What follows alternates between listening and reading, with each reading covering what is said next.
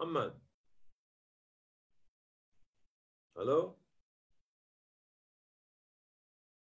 محمد؟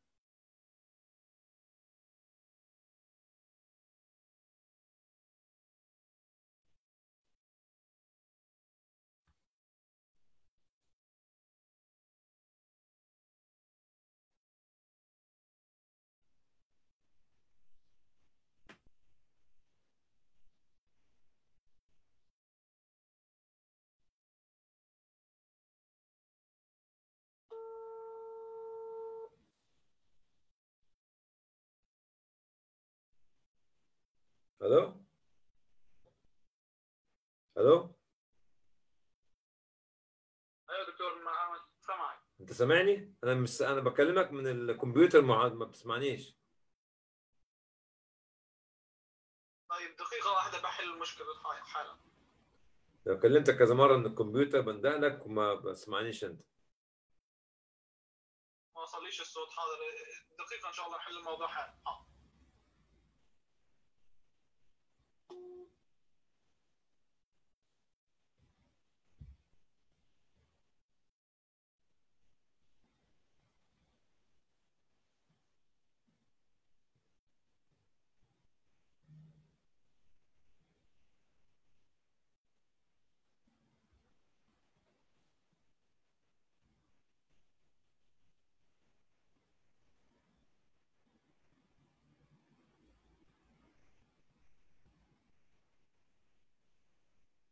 سمعني؟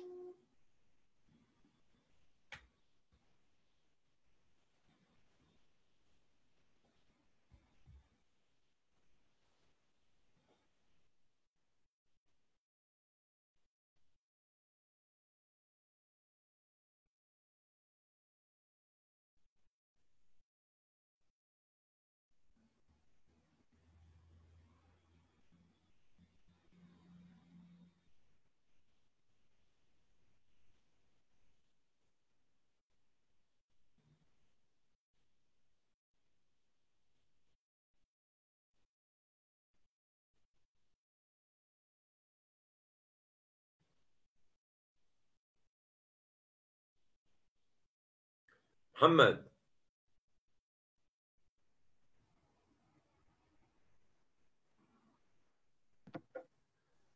أيوه س- أيوه دكتور عم اسمعك. طيب يلا ابدأ. تمام. يلا ابدأ يلا بسم الله. بدأت؟ آه وعمال آه، حالا. ارفع بس الصورة بتاعتي لفوق شوي.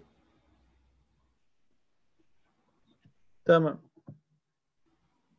تمام هيك؟ أنا مش- أنا مش شايفها بس أنت ارفعها بس يلا يلا عشان آه. احمل على الفيسبوك كده. تمام.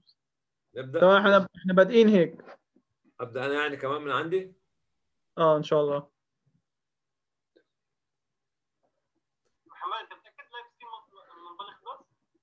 متأكد إيه؟ خلاص بقى. أنا هبدأ. ما في عندك إيه ت- ايه تفضل دكتور السلام عليكم ورحمة الله وبركاته. Uh, dear brothers and sisters in Islam, uh, it's a long time since we have met uh, one another uh, last month. And my apology for not preparing a lot of uh, lectures over the last four or five weeks. But today, our lecture is about uh, a very challenging subject. And I made this title for it uh, to challenge the status quo. And as I mentioned in the title, we will never give up because of the challenges that face charitable work. Charitable work is something that me personally started having it since 1982. It's nearly 38 years ago. Started with the massacre of Sabra and Shatila in camp, uh, uh, camps in Lebanon, and started also with my first visit to Bosnia Herzegovina in 1982. So this is where I started to learn about how can I get involved in charitable activities. What we are facing nowadays in the sector The slides are not working محمد ممكن تغير الشريحة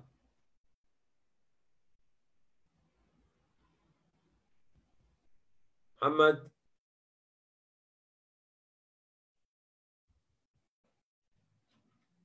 محمد؟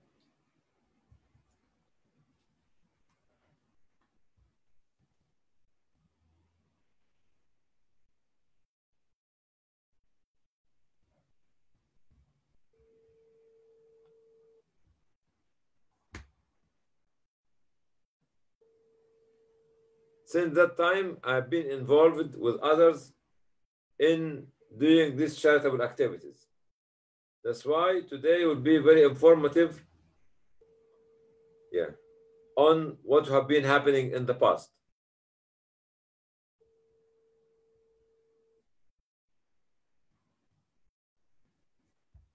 This is the content of my talk, which will be eight parts. 4S formula, international days observed, charity work in Islam, what's charitable work, internal and external challenges, solution, and conclusion. This photograph will take us back more than 90 years ago to introduce my family to you where I've been brought up in one of the oldest states on earth, Egypt. And the one who's sitting on the seat is my great grandfather. The one standing on his right is my uncle who became a head teacher uh, of one of the secondary schools in Mansoura. And the one on his right, left hand side is my late father's. All of them are Azhari and qualified from Al Azhar University, and all of them were Hafiz of Quran. The 4S formula, as I mentioned to you today, is extremely crucial for me because I have been brought up in a house which was composed of one side is the theologian, the other side is the social worker. The theologian was presented by my late mother, was a very great reader of history, and she was social worker by nature, where she used to bring family members and to discuss their family issues uh, in our house. The other side of the family was my father was a theologian. So the discussion was heavy between theology and social work. This 4S formula, which is at Sunni, Shiite, Sufi, Salafi, is there in my house because this kind of discussion in the house between the theology and the social work was there all the time, which enabled somebody like me at the age of seven or eight or nine or 10 or 11 to understand how can I bridge build, how can I fill the gap, how can I communicate, and how can I network, and how can I listen to the discussion between the different family members and the guests who come to the family. First time I delivered this 4S formula, as you can see it on the Zoom, Sunni, I am Sunni, because the Prophet ﷺ, because I follow the Sunnah of the Prophet ﷺ. I follow the tradition of the Prophet ﷺ, which call it Sunnah. So I am Sunni, 100% hardcore Sunni. Also, I'm Shiite. The word Shiite in Arabic means you take a sideline to some group. So I take my sideline to the Ahlul Bayt, to the family of the Prophet ﷺ. That's why I call myself a Shiite. Shiite in a sense that I respect the family of the Prophet ﷺ and all the companions of the Prophet ﷺ, not cursing, not insulting, not backbiting, not scandal mongering, any one of them. Because the word Arabic, the understanding of Shiite means to sideline, to take a side, to be biased to one group, not the other. This is the second S in my 4S formula. The third S for me is Sufi. Sufi is because this is a part of the life of the Prophet. ﷺ. He was separating himself from the community, from his family, to stand up and pray and worship Allah in isolation, to purify his soul. And each one of us have got this character in himself or herself. Then I am Salafi as well because I follow the tradition of the followers of the followers of the followers and the scholars of Islam after the Prophet. So the four S formula for me S Sunni, S Shiite, S Sufi, I think should be S O F F I, F I, not S U, and Salafi is number four. So with no, with no, with no discrimination or cursing or backbiting to anyone in the community. This is where I was brought up in the uh, family uh, house in Cairo in the 50s and 60s. And uh, Shariah Muhammad. Shariah. Uh, this is the International Days observed.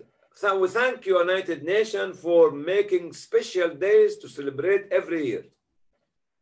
World Children's Day, International Volunteer Day, International Women's Day, World Refugee Day, International Day of Commemoration and Dignity of Victims of the Victims of the Crime of Genocide and the Prevention of this Crime, World Orphans Day, World Kindness Day. We thank United Nations and any other organization are celebrating or remembering or commemorating that. But as we are social worker, are we as a human being, we have to take this mission 365 days a year, not only one day. And I will stress today on the International Day of Commemoration and Dignity of the Victims of Crimes of Genocide and the Prevention of this crime. This was a partly made in the dignity and respect of the genocide happened against the Jewish brothers and sisters by the Nazi in uh, the 30s and 40s from the Second World War. Also, at that time, remember what happened to the Bosnian between 1992 and 1995. Also, we need to remember on that day what was happening at, at the moment to the Rohingya, which came out from the Arakan Burma and which are called now Myanmar, which is more than 1 million people are actually uh, uh, in Bangladesh and some other countries as well.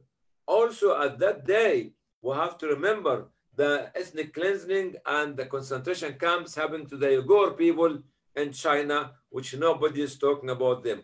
Also, on that day, we have to remember what's happening to the people of Democratic Republic of Congo and the people of actually uh, Central African Republic, particularly the 100 plus thousand people who left because of the atrocity and the ethnic cleansing done to them by the anti-Balaka terrorist group in this country and others. So, but we need not only to celebrate one day, but to keep working hard to prevent this is happening again and again and again and again to anyone and everyone, regardless of race and color and background. Charity work in Islam.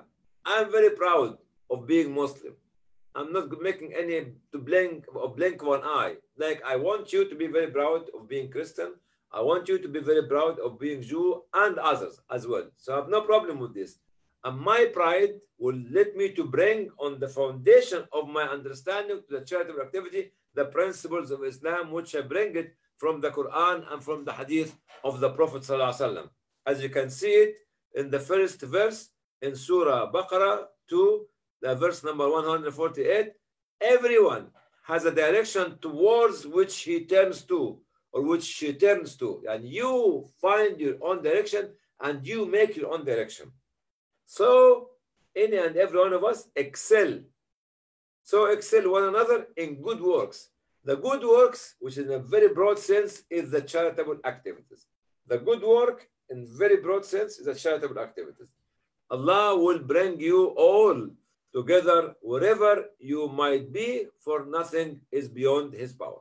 So Allah here mentioned فَاسْتَبِقُوا الْخَيْرَاتِ excel in competing for doing good. Excel in competing or racing for doing good. This is number one from the principles of how to understand uh, charity work in Islam.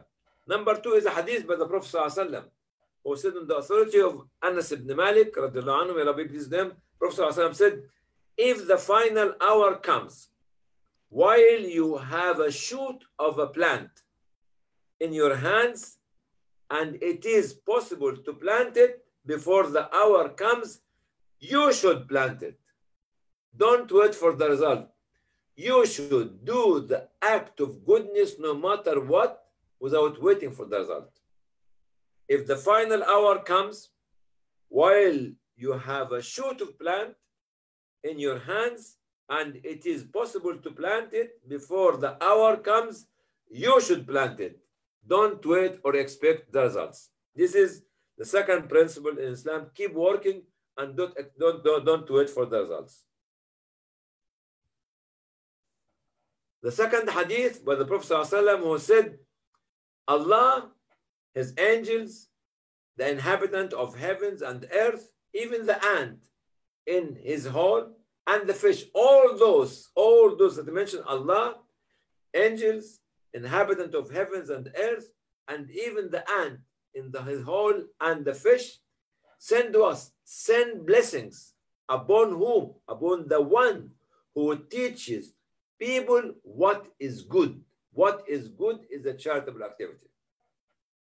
Allah, His angels, the inhabitants of heaven and earth, even the ant in his hole, and the fish send blessings upon the one who teaches people what is good. The other hadith is in the behavior. While we are doing this charitable activity, we have to behave well.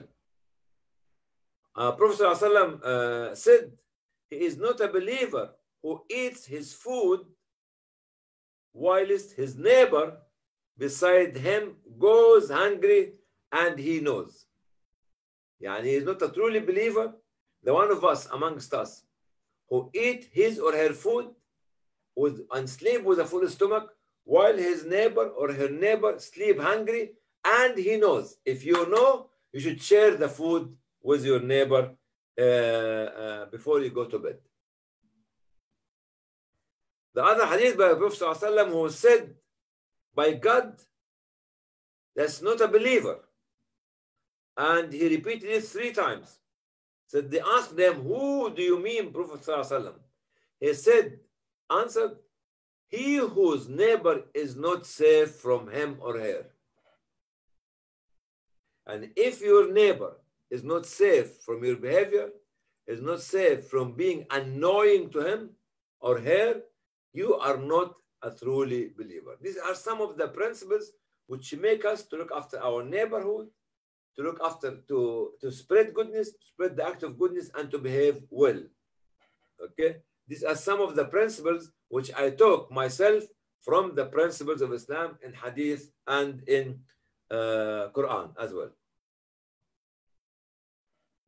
What is the definition of charitable work? I make my own definition as you understand because there's too many definitions. But you have to be very proud of yourself of making also your own definition. You shouldn't wait for someone to tell you this is your, my definition, follow me. My definition, it is a work. Work that is good for others. Any work you do which is good for others. Very simple. Any work you do which is good for others is a charitable work. Regardless of who is responsible and who is benefiting. And this kind of charitable activity, if it's good for everyone, we don't care about who is doing it, what's his or her background, and who is benefiting from it. Clear? Very broad. Very broad, very broad. Uh, the, the charitable work has a lot of dimensions and a lot of different kinds. It has multitude of types. The more you do uh, charitable activities, the more you know that you need to do more, and you discover the different types that you need to uh, of charitable activities that you need to perform or need to do at that time. The charitable activities and work is a never-ending pathway. The more you go deep, the more you go this direction or this direction or this direction, the more you find it's an endless pathways. Keep taking you from A to Z, and when Z is over, it will be another Z and another Z and another Z and another Z.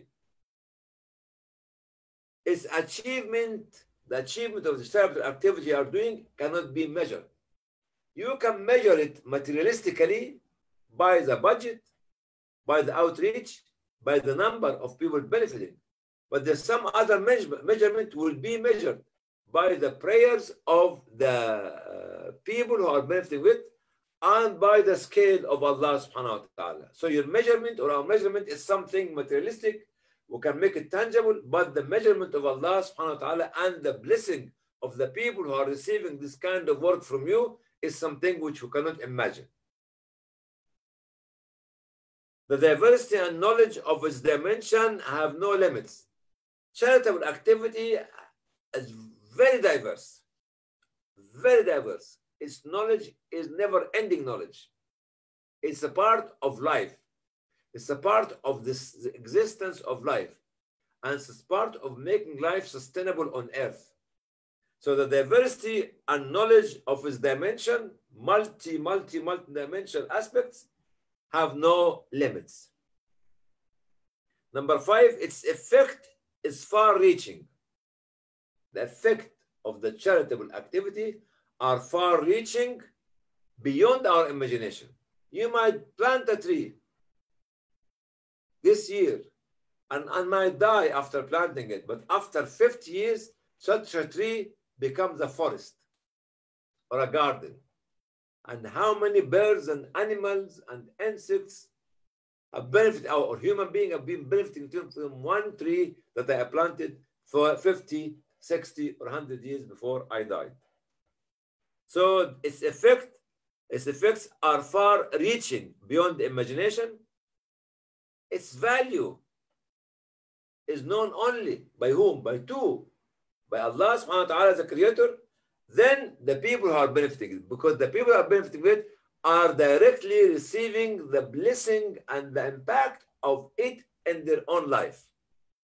This number six. Number seven, the strength to achieve its mission is granted by whom? It's granted by the Creator and the prayers of the recipients. The more the recipients of the charitable activities pray for you, the more you have strength to achieve more and more and more in your life and in the life to come. Its pain is a cure for ourselves.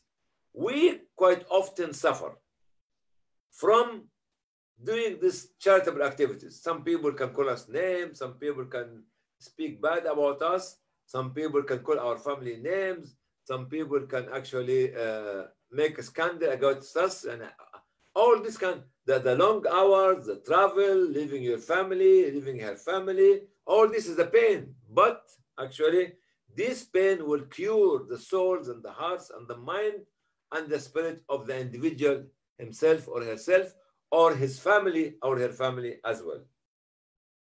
Also, the charitable activities will be the source of creation of the future societal leaders. The more we train in the charitable sector, the more we'll be able to become future leaders for the society. This is the definition and some of the impact of our charitable activities that we are uh, doing. Uh, uh, let me remind you of one of the hadiths of the Prophet ﷺ, as he said, Inna lillahi ibadan. Allah has got a special group of slaves اختصهم بقضاء حوائج الناس he made them responsible to respond to the needs of the people حببهم على الخير led them to love the act of goodness with the act of charity and وحبب الخير إليهم and led the act of charity to love them you know what is the reward for them إنهم الآمنون من عذاب الله يوم القيامة they are the people who are going to be saved from the punishment of Allah on the day of judgment. Be one of them. Be one of them. Be one of them inshallah. Number five we talk about the challenges. Why i'm talking about this uh, uh, talk today?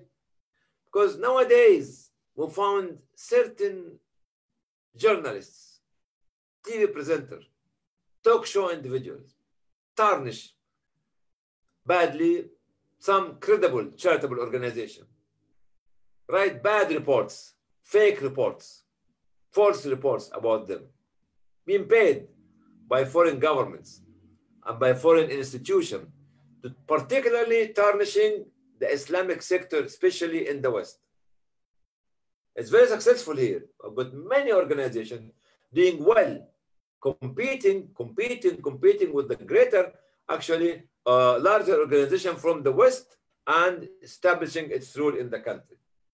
So this kind of individual, miserably looking, who are anti-humanity, anti-Christ, and anti-morality, tarnishing this kind of charitable activity that we are doing, as well as other social activities that we are doing. That's why I'm standing here today saying we'll never give up what we are doing, no matter what you say and what you talk about and what you say about us, what you do are false and wrong and uh, uh, lies about individuals and about charitable organizations.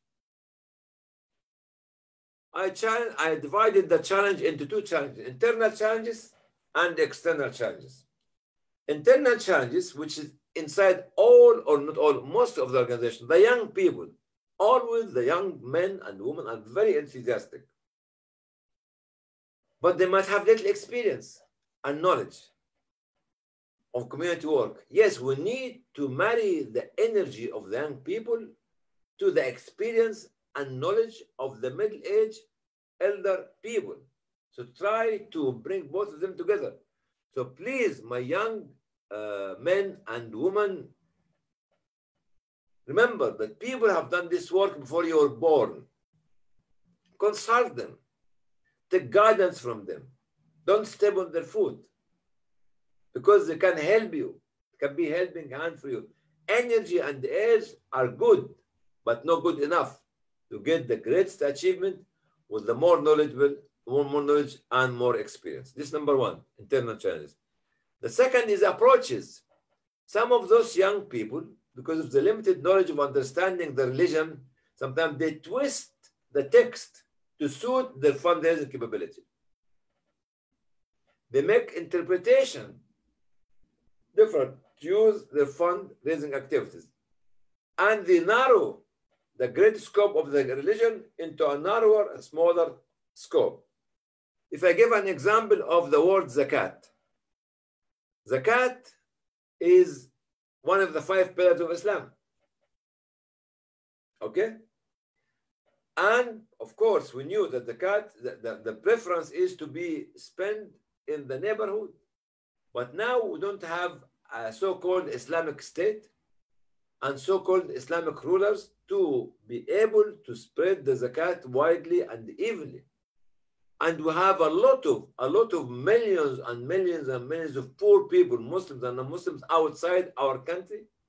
If we give the example of a country like Canada or America or Europe, huh, and they are very wealthy with a very strong social infrastructure, and we have got countries like in Africa or Latin America or in Asia where there's no social infrastructure, they need a lot of help. We have to divide the zakat between what we need to spend locally here and what we need to send actually abroad. But when it suits you only, because you are only raising fund for your own country, you do not say that it's not right to spend it outside. And this is where the lack of knowledge and narrowness of the scope of jurisprudence will be fatal to the growth of the charitable activity as well as conflicting factors. Price, it kills me all the time. My Kurbani is 25 pounds. His Kurbani is 24 pounds. Your Kurbani is 23 pounds. Why? It is for the competitive marketing skills. Okay? Orphan this side is 30 pounds a month. Orphan this side 25 pounds a month. Food basket and others. This kind of pricing competition is very ugly. We need to sit down. We need to sit down and discuss with one another how can we come out to the community and not to confuse the community. Administrative expenses, another internal challenge. No one can claim, no one can claim, no one can claim there's no admin cost for the operation. Allah subhanahu wa ta'ala made admin cost is one of the eight categories of expenditure of the zakat. وَالْعَامِلِينَ عَلَيْهَا. The people are actually working for the charity. You don't come and say no for a marketing tool. What you need to say, be very honest. Yes, people can have the right to take it. Okay? And by the way, let me take you to another platform by saying there is no work whatsoever on earth done without admin cost. If you claim that your organization is a zero admin, you have to tell me who is paying the electricity, who is paying for the rent, who is paying for the salaries, who is paying for the transportation. I have no problem. If you have a businessman who is supporting and covering you for this, that's fine, no problem, but declare it. Be transparent. I have no problem that if you have waqf or endowment scheme to cover for this, there's no problem. Please do, but declare it. Be transparent. But don't come and tell me for the marketing, for being a marketing activity, oh no, no, we don't take admin cost. Oh no, no, what? No, this is wrong. This is wrong. This is wrong. And by the way, to you viewers, may Allah bless you all. There is no the international operation in any organization. If you work in the headquarters and in the other field abroad, it will not be less than 15 to 20 percent. And if somebody tells you different to that, please, you have to question them again and again and again and again. Uh, number five, first in action. Ah, we are the first. Nobody can be there before us. No, we are the first. So, you are the first. So what? What was the impact of your work? Don't separate of being the first to try to to try to to sideline other organization, but be the first in making uh, uh, people happy and being with people all the time and put their impact in developing the society. Self-praise, oh, we are the best organization, we have got the best team, we have got the best chairman, we have got the best board, we have got the best employees. What is this? We're not in a market calling for some uh, good goods to be sold, uh, pairs of socks or pairs of slippers or whatever. No, no, no. Let us sit down together. This kind of self-praise will take me to a journey back thousands of years ago when Allah subhanahu wa ta'ala created Adam. And he was talking to the Satan, to the devil. And the devil was telling Allah, Oh, I am better than him. You created him from clay and you created him from, from fire or flame. Why should I, what should I make sujood for him? The people who think that they are the best, the people are so close to the devil. You need to show modesty, humility, and be integral and credible to the community. Talking back about other institutions, criticism. am I? Why? Oh my God, you give the money to them? Astaghfirullah azim. Without explaining. Putting the doubt in the hands and the mind of the donor. Why? You give them your fund, astaghfirullah azim. What is this? What is this kind of bad feeling towards another organization is doing a good job like your job or a far more better job than yours? Spending too much money on media is what we see nowadays. What we see nowadays This goes to millions, millions and millions and millions. Lack of transparency. When you have some wrong doing, we cover it up and we change the report and we produce another report. No strategy for the vision, no strategic vision. Why all the time we we emotionally react, not planning, not planning, emotionally react Even I was listening to some of the sayings of uh, uh, Mo- uh, Hazrat uh, Abu Hanifa al-Nu'man, you know, and that during that time, maybe uh, uh, 14, 15, uh, يعني uh, uh, second, third Hijri century, you know, was developing the expected jurisprudence. The expected ju- jurisprudence. What do you mean by اللي هو الفقه التقديري? What do you mean by expected jurisprudence? He was telling his students, let us think for the future. What will happen when a problem fall down on your head?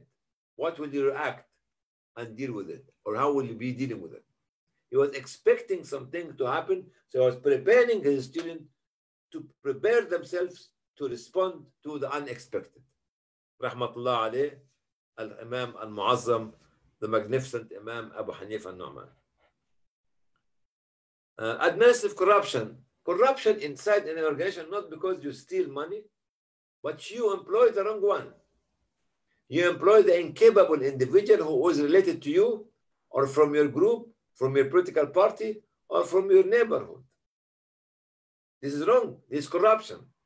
Or you keep the money and don't spend it for a year and year and year, and people are dying outside.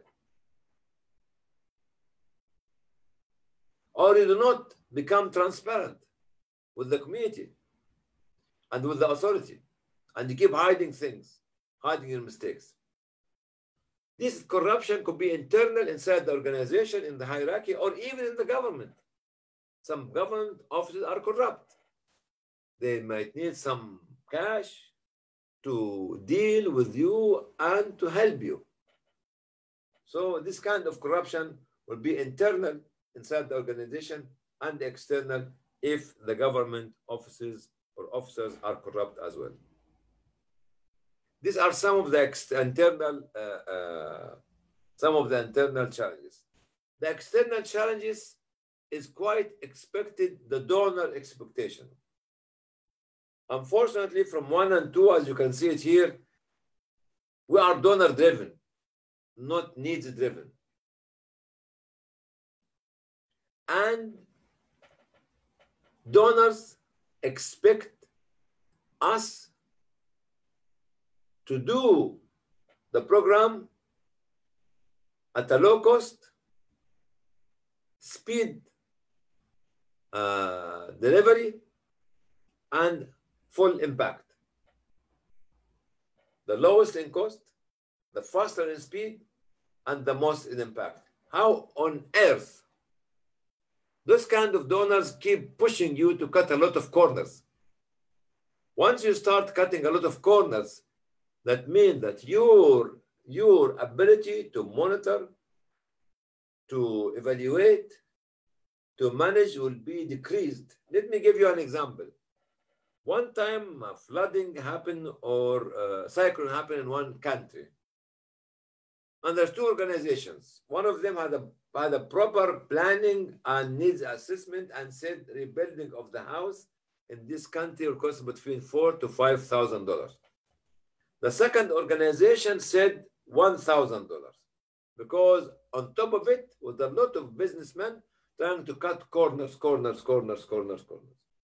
Okay, so definitely the donors did not give the money to the organization which said four or five thousand dollars for the house, and they gave it to the other organization which said one thousand dollars.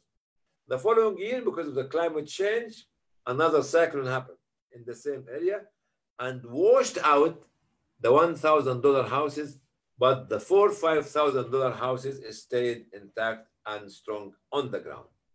And this is the difference between donors who push you to cut corners and donors who understand your uh, uh, mission and understand your needs assessment and respect you and give you the full money for building the project.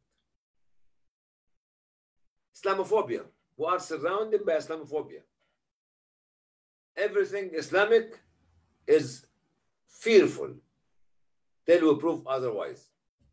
To the banks, the authorities, the regulation, the registration, the movement, and even the perception of the uh, uh, people that we are helping. Media, as I mentioned at the very beginning, media distortion of the organizations. I don't know why those media or those group of people, journalists, hate Islam and hate Islamic organization and calling them names. The people are 24 7, work hard, extremely hard to reach the unreachable and to achieve the unachievable. And they are achieving it, but the media ignoring them, even talking bad about them. Why this kind of hatred? I call them those kind of individuals anti-humanity, anti-Christ, anti-morality.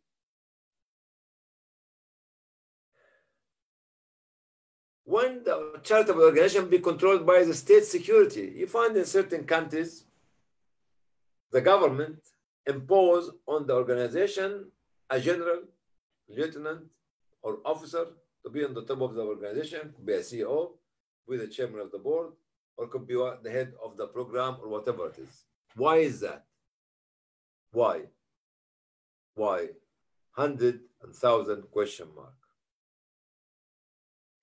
The shrinking civil liberty space,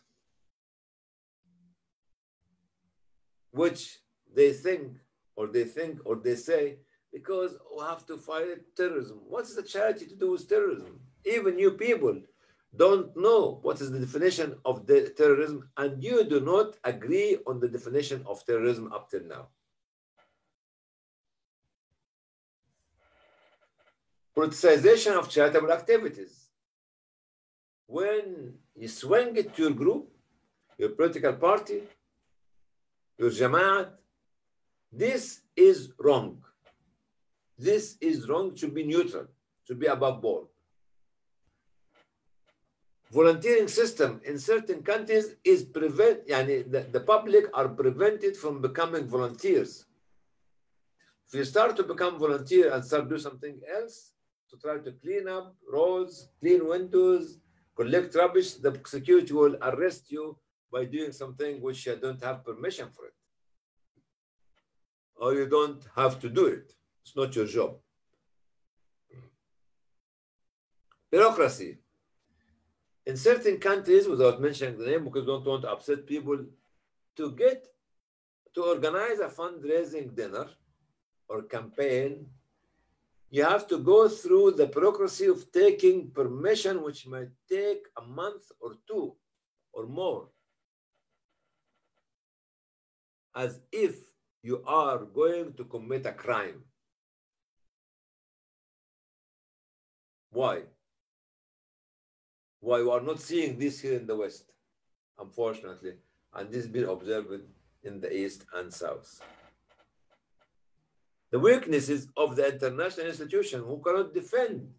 And if you tell me go to this or regional organization or this global organization to defend you, they can't because they are government organization and they're controlled by government.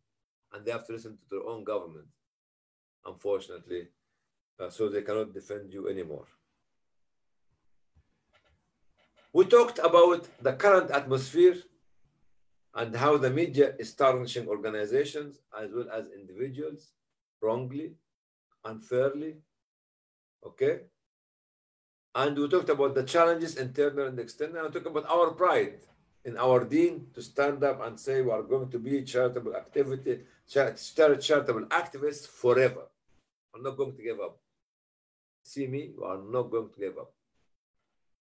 But what's the solution? Let us look about long-term solution and short-term. First of all, we have to keep investing and raising a generation that believes in charitable work,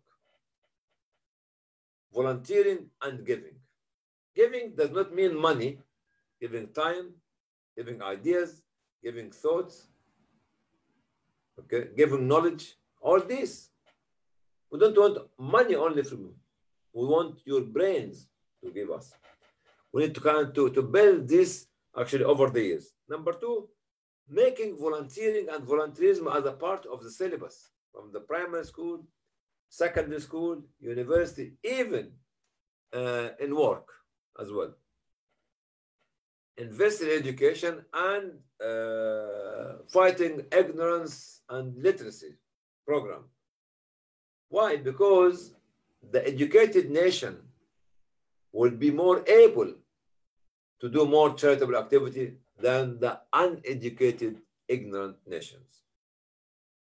Building coalition between organizations, between institutions, building federation, building forums, building platform, building syndicates, building union. We have to sit down as organization, social, charitable, humanitarian, to discuss issues, to look collectively, objectively on the strategy of how to protect our country, our society, our community, and humanity as a whole.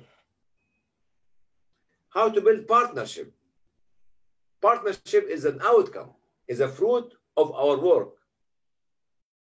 It's a mean and result as well.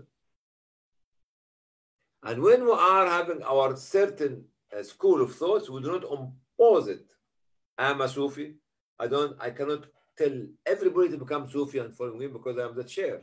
Or I am Salafi. I don't want. I cannot make everybody in the organization to become uh, uh, Salafi like myself. Or I am uh, what do you call it? Uh, other religions uh, like Catholic or like Protestant or like Anglican. I cannot yani, impose my religious views on others inside the organization. Investing in supporting networking and integration between associations. That's what I'm saying. That's what I said at the very beginning when I was brought up in our family house in Cairo between the theologian uh, sector headed by my father and the social sector sector headed, headed by my mother. I learned the art of bridge building networking, communication, and uh, filling the gap. Charity work should be independent from the government. Should not be dictated by the government. The government could give the way and bless the way of the work, but do not become control freak on every footstep that the charity is doing to help the society itself. Understanding the local and the global role played by charitable work. Yani we are in a country like Kuwait or like Saudi Arabia or like Yemen. Okay. There's a role played inside Yemen during the conflict in certain zones. And we should know what's our role in this area. So there's regional players afterwards. So there is global players. So I have to go from the local, okay, to the national, to the regional, to the global, to understand all the mechanics and mechanisms to understand how other organizations are working in these different atmospheres. This is some of the solution. In conclusion, in conclusion, today,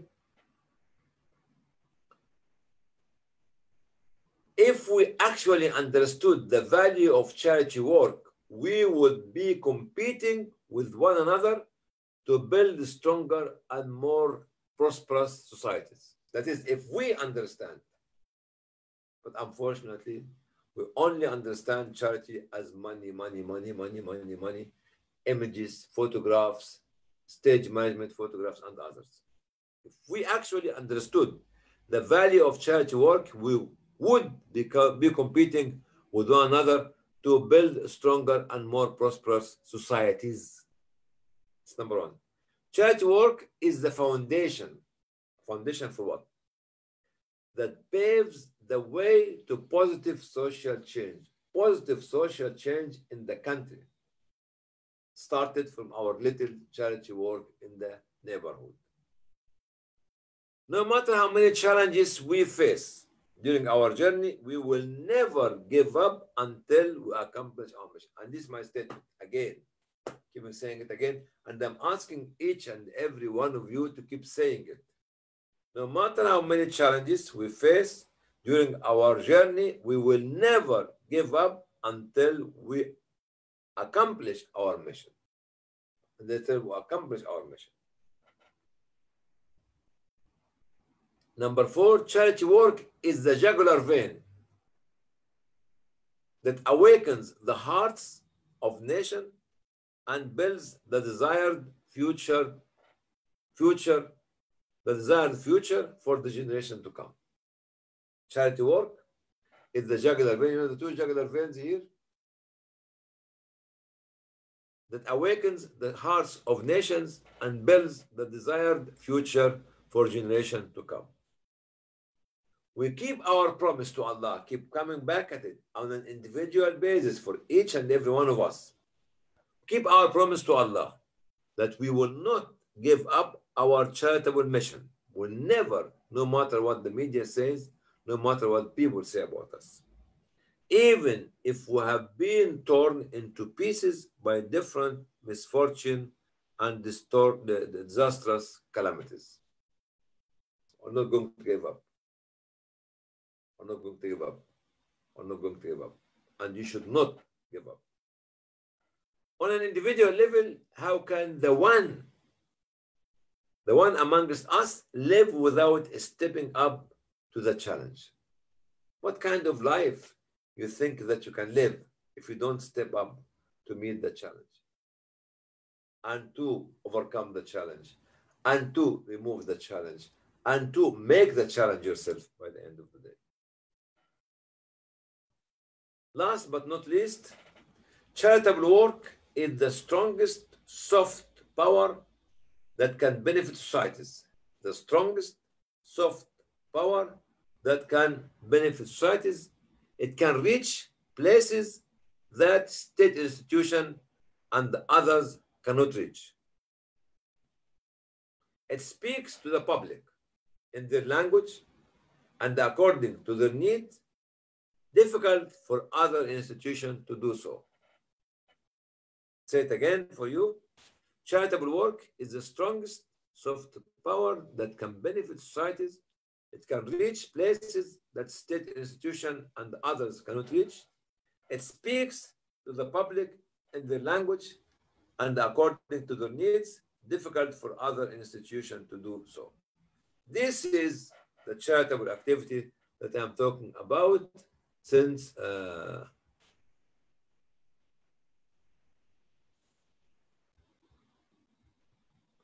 hello?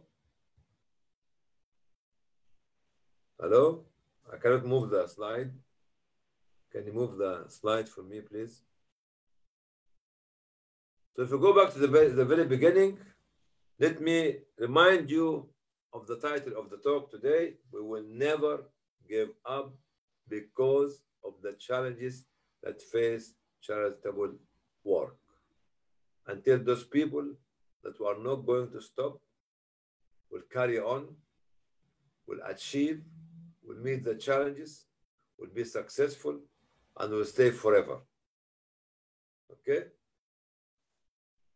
If the hour comes, as the Prophet ﷺ said, if the hour comes, if the final hour comes, while you have a shoot of a plant in your hands and it's possible to plant it before the hour comes you should plant it.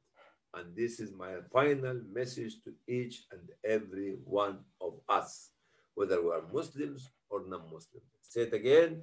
This if the final hours come if the final hour comes while you have a shoot of a plant in your hands and it is possible to plant it before the hour comes, you should plant it.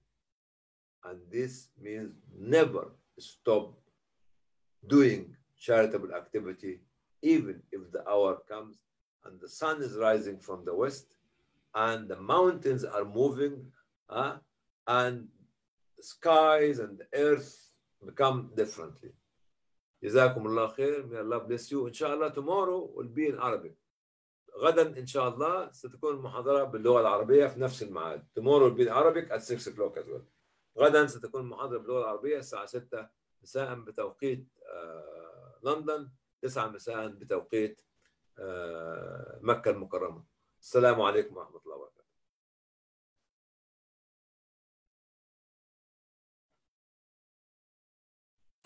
منور يا دكتور منور. طيب خير إن شاء الله. خل- خلصت أنت ولا لسه ما خلصتش؟